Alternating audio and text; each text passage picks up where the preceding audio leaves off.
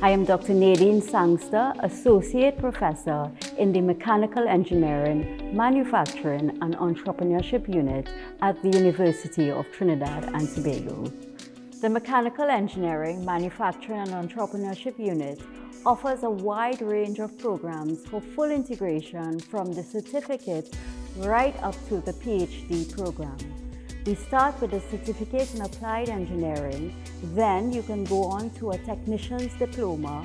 After that, you can follow up with a bachelor's program, then a master's in engineering, and then you can even go on to do research if you're so passionate and do an MPhil or a PhD.